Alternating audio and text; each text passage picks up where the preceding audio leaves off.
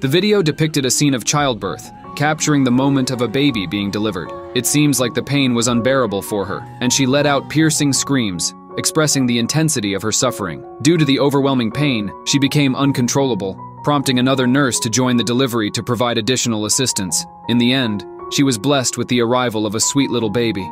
If you believe in the incredible love of a mother and find her sacrifices unpredictable, consider subscribing.